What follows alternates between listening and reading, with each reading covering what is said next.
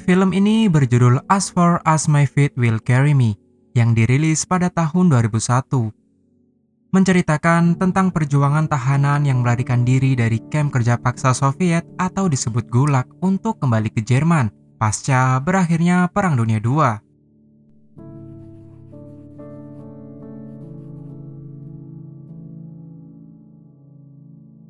Pria ini bernama Forel, salah satu prajurit angkatan bersenjata Nazi Jerman.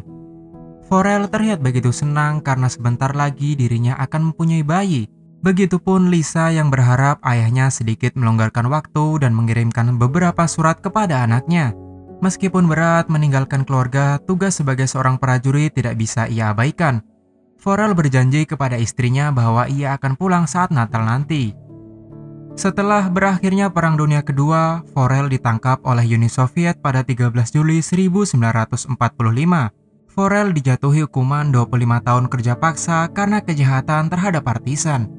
Kemudian dikirim bersama sekelompok tahanan ke kamp kerja paksa atau disebut gulag di wilayah Siberia. Tahanan itu dikirim menggunakan kereta api, menggunakan pakaian dan jatah makanan seadanya. Mereka harus berjuang hidup dengan kondisi cuaca dingin yang begitu ekstrim. Maka tak heran banyak tahanan yang meninggal setelah perjalanan panjang melintasi benua. Di tempat pemberhentian, masing-masing orang diwajibkan untuk membawa empat batang kayu. Namun, Forel mulai berhalusinasi melihat istri dan anaknya, menyebabkan dirinya kehilangan fokus sampai-sampai ia tak sadar mengambil lebih dari empat batang kayu, yang membuat dirinya diperlakukan kasar oleh tentara Soviet. Jauh di Jerman pada Oktober 1945, setelah mendapat surat, Lisa kemudian berlari memberikan kepada ibunya, berharap itu dari sang ayah. Tetapi surat itu bukan berasal dari Forel, melainkan dari Palang Merah. Mereka mengatakan meskipun Forel ada dalam daftar pencarian, namun tak ada informasi tentang pengadilan militer Rusia. Itu artinya Palang Merah tidak tahu apa-apa. Sementara bayi yang dikandung oleh sang istri ternyata telah lahir dan berjenis kelamin laki-laki. Keesokan harinya, para tahanan harus kembali berjuang berjalan kaki melalui gurun salju. Tentu itu bukan perkara mudah. Kondisi kelaparan dan kedinginan melewati hutan belantara bahkan harus melewati sungai yang membeku. Sehingga tak sedikit tahanan yang gugur dan meregang nyawa.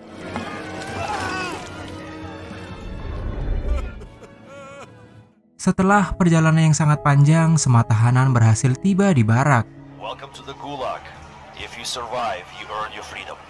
Saat dikumpulkan, Forel sedikit bergumam. Kenapa camp ini tanpa pagar dan menara pengawas? Orang di sampingnya mencoba menjelaskan bahwa camp ini tidak butuh hal itu karena berlokasi di utara lingkaran Arktik. Lagi pula, mau pergi ke mana pun tidak ada pohon atau rumput untuk bersembunyi sehingga pasti mudah bagi tentara pelacak untuk menangkap tahanan yang kabur. Di tempat itu terdapat dokter bernama Stover. Statusnya adalah tahanan, tetapi dipekerjakan dan bertugas untuk memeriksa kondisi kesehatan para tahanan. Pemeriksaan itu berlanjut hingga malam hari. Letnan Kamanev yang merupakan pimpinan tertinggi di Gulag mencurigai satu tahanan terlihat seperti menyembunyikan sesuatu. Saat Kamenev menghampirinya, tahanan itu langsung mengeluarkan surat yang berasal dari ibunya. Tidak berhenti begitu saja, Kamenev juga memerintahkan melepas semua pakaiannya, bahkan menyobek surat milik pemuda itu.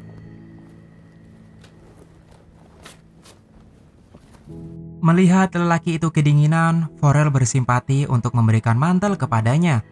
Tetapi aksinya dihentikan oleh Letan Kamenev bahwa Farel tidak perlu melakukan itu dan mengatakan lebih baik untuk menyimpan mantelnya.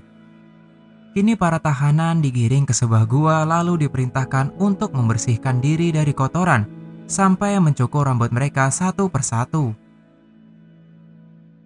Sedangkan istri Forel tak kunjung mendapat kabar. Ia pun mendatangi kantor Komite Nasional Kemerdekaan Jerman. Namun lagi-lagi tak ada informasi mengenai suaminya sehingga dirinya harus kembali menunggu karena negosiasi dengan Uni Soviet akan berlangsung pada musim gugur. Tiga tahun berlalu, semua tahanan menjalani hari-harinya hanya untuk bekerja, memakan makanan yang tidak layak dan peralatan seadanya tanpa pengaman, sehingga tak jarang terjadi kecelakaan yang mengakibatkan satu persatu tahanan tewas.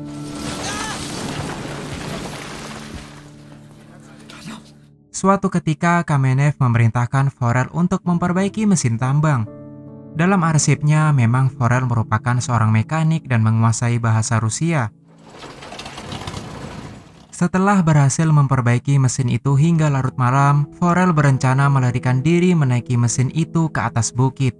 Karena minimnya pengawasan, ia pun berhasil mencapai lereng bukit lalu menaiki kereta tambang dan berharap bisa menjauh dari camp itu. Tetapi kurangnya persiapan membuat dirinya kembali tertangkap dan berakhir di sebuah sel penjara. Kamenev mengatakan jika Republik Uni Soviet memiliki perjanjian dengan Amerika Utara, meskipun Forel melarikan diri, mereka akan kembali mengirim dirinya. Setelah dibebaskan, Forel harus menerima penganiayaan dari rekan-rekannya dan menganggap jika Forel telah berkhianat karena mencoba meninggalkan mereka. Akibat insiden itu membuat Forel terluka parah serta menderita demam tinggi. Kamenev mencemaskan keadaan Forel, lalu memerintahkan untuk membawanya ke barak perawatan. Forel yang kesakitan meminta bantuan kepada Dr. Stoffer untuk mengirim surat kepada keluarganya. Tetapi sang dokter tahu jika surat itu tak akan sampai. Pada saat itu, Dr. Stoffer mulai akrab dengan Forel. Ia tahu Forel sangat tangguh dan mempunyai tekad yang kuat sampai-sampai berniat ingin membantunya melarikan diri. Malam harinya, Forel diminta untuk menemui Dr. Stoffer secara diam-diam. Dia mulai menjelaskan tentang rute melalui peta miliknya. Sebelum Forel bersembunyi karena mendengar suara langkah kaki yang ternyata itu adalah Kamenev. Meski sedikit basa-basi tanpa tujuan, Letnan Kamenev akhirnya pergi. Kedua orang itu mulai melancarkan aksinya, di mana Dr. Stoffer memberikan barang-barang miliknya termasuk perbekalan yang ia sembunyikan di atas bukit dan juga sebuah pistol. Di balik semua itu, ternyata Dr. Stoffer berencana melarikan diri, tetapi ia tidak bisa melakukannya karena dua bulan yang lalu ternyata dirinya mengidap kanker. Mengingat ke mana pun dirinya pergi akan terasa sia-sia. Ia hanya bisa memohon kepada Forel untuk menemui istrinya dan mengatakan bahwa dirinya telah meninggal pada tahun 1950. Tekad yang kuat membuat Forel berhasil menjauh dari camp itu. Namun naas, Dr. Stoffer memilih bunuh diri daripada dimintai pertanggungjawaban.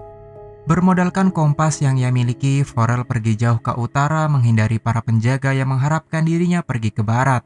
Ketika persediaan makanan yang diberikan Dr. Stoffer habis, ia pun mulai kehilangan kontrol atas tubuhnya dan kembali berhalusinasi bahwa dirinya dikejar oleh tentara pelacak. Sedangkan kekejaman terus dirasakan oleh tahanan di Gulag. Selama berhari-hari mereka tidak mendapat makanan akibat ulah Forel melarikan diri. Salah satu tahanan yang meminta keadilan justru berakhir terbunuh oleh Kamenev. Kamenev pun tak henti-henti mengerahkan pasukannya untuk mencari Forel, tak terkecuali menginfokan semua stasiun radio dalam radius 500 km. Suatu ketika saat tertidur, Forel dikejutkan dengan kehadiran orang bersenjata yang mengawasinya bernama Anastas dan Semyon.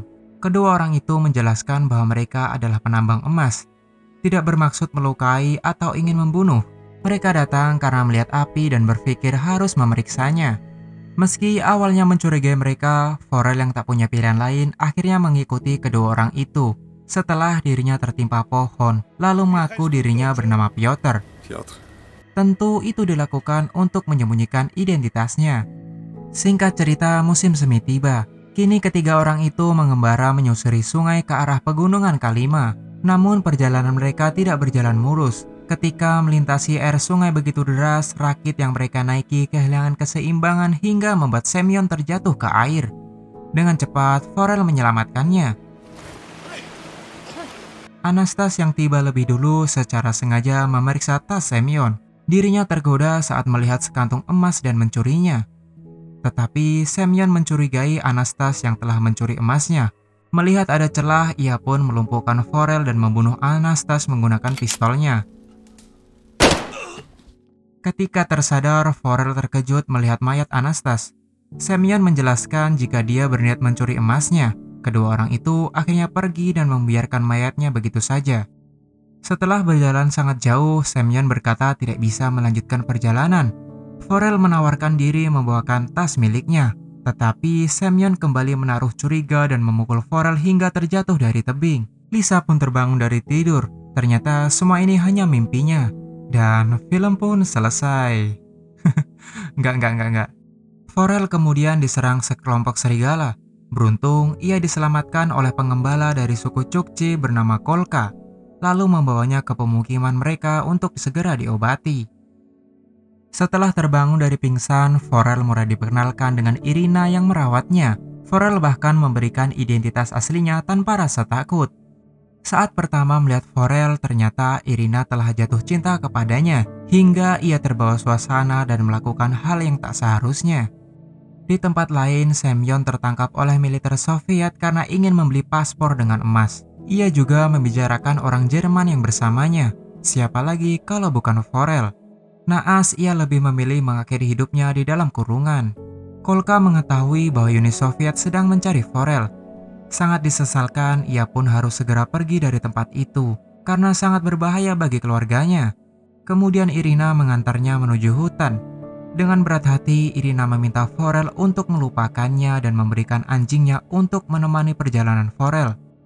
Pada musim panas 1951, tiba-tiba anjing yang bersama Forel berlari ke arah orang-orang penebang kayu, membuatnya panik lalu mengejarnya.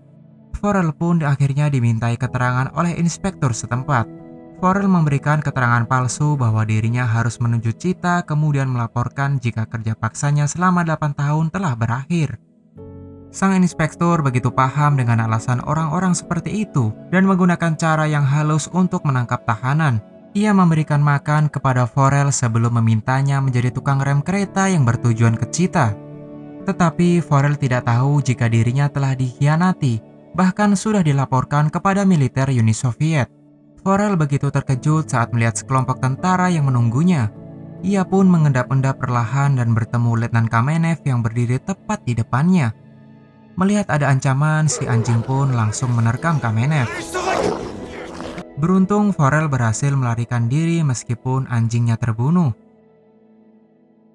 Singkat cerita, di tahun 1952, Forel pergi ke Asia Tengah. Meskipun penampilannya seperti orang gila, ia beruntung sebab masih ada yang membantunya. Forel kemudian berdoa kepada penciptanya mohon pengampunan dosa. Tak lama setelah itu, ia pun dihampiri seseorang yang berasal dari Polandia bernama Igor. Igor mencoba meyakinkan bahwa dirinya hanya ingin membantu dan mengajak ke rumahnya. Tetapi pria paruh baya yang melihat Forel dengan sengaja melaporkannya kepada kepolisian Soviet.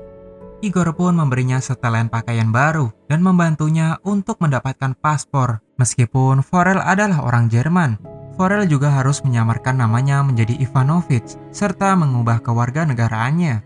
Forel segera cemas, bagaimana jika Igor berbohong ia pun melarikan diri melewati jendela. Namun, Igor menepati janjinya dan memberikan paspor baru milik Forel. Igor lalu menyarankan bergegas menuju perbatasan Iran karena tempat ini sekarang sudah tidak aman. Tak banyak yang bisa dilakukan Forel untuk membalas budi selain mengucapkan terima kasih. Dengan cepat, Igor segera membakar pakaian lama yang dikenakan Forel untuk menghilangkan barang bukti Keramah taman Igor terbalas tidak begitu baik, hingga akhirnya ia diinterogasi oleh Letnan Kamenev sebelum Igor terkena serangan jantung secara mendadak dan akhirnya meninggal. Sementara perjalanan Forel mengalami kendala, petugas memberitahu bahwa terjadi tanah longsor sehingga tidak memungkinkan untuk dilewati menggunakan kendaraan. Jalan satu-satunya adalah memutar Tak mau ambil resiko, Forel memutuskan untuk berjuang menggunakan kakinya berjalan sangat jauh hingga ia tiba di lokasi perbatasan Iran. Tampang senyum menghiasi wajah Forel. Ia pun segera berjalan menuju kebebasan. Seakan mimpi buruk terus membuntutinya, tiba-tiba dia melihat Kamenev berjalan ke arahnya dari sisi Iran. Forel menatapnya dengan penuh ketakutan. Namun, Kamenev menyingkir dan membiarkan Forel lewat. Kamenev sempat mengatakan sebelum keduanya bergerak menjauh.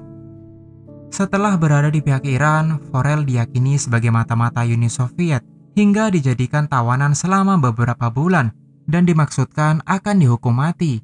Forel sempat mengaku jika dirinya kabur dari Siberia. dan meminta pamannya yang bekerja di Anarka Turki untuk mengidentifikasi dirinya. Walau bagaimanapun, sang paman terakhir kali melihat Forel pada tahun 1937, sampai-sampai dia tidak mengenalinya. Tetapi saat sang paman memberinya pertanyaan, Forel kemudian melihat foto dirinya serta menuliskan sesuatu di baliknya untuk diberikan kepada sang ibu pada ulang tahunnya di tahun 1939. Dan akhirnya Forel pun dibebaskan.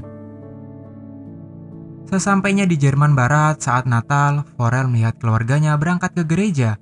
Ia segera mengikutinya secara diam-diam, berjalan perlahan masuk ke gereja.